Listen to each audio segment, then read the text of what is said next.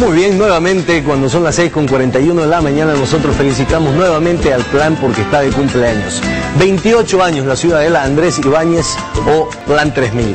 Y como todo cumpleañero tuvo su serenata. Anoche hubo muchos cantantes, hubieron danzas, hubieron mariachis, fuegos artificiales para festejar estos 28 años de la ciudadela.